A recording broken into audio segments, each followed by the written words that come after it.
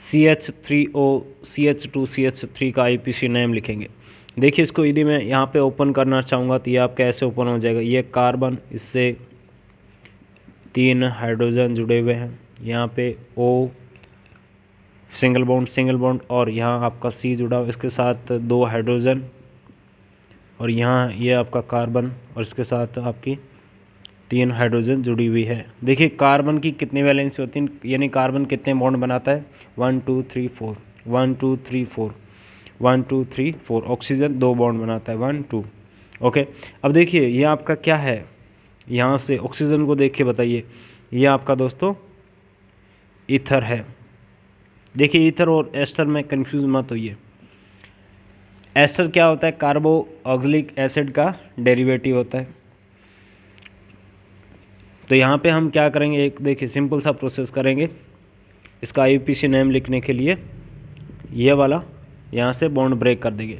इसमें ध्यान क्या रखना है, यहाँ पे कितने कार्बन आए वन टू यहाँ पे कितना? वन कार्बन तो ये आपका जो ऑक्सीजन है, ये जिस साइड आपके नंबर ऑफ़ कार्बन कम है, उस साइड रहेगा। यानी आप ऐसे समझिए कि ये आपका जिसमें नंबर ऑफ़ कार्बन कम है, ये तो बनेगा एल्कोक्सी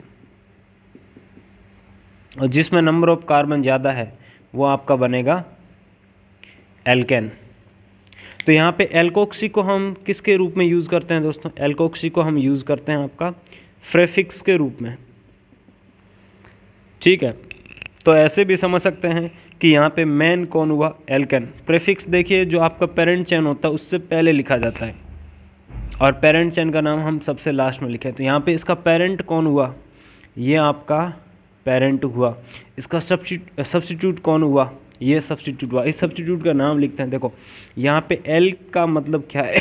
एल का मतलब नंबर ऑफ़ कार्बन यहाँ पे कितना? एक कार्बन एक कार्बन को क्या कहते हैं? मैथ इसके पीछे हम क्या जोड़ देंगे?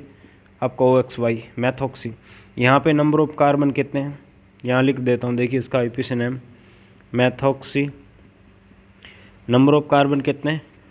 दो कार्बन दो को क्या कहते हैं? एथ यहाँ इसकी एल की जगह क्या आ जाएगा दोस्तों आपका?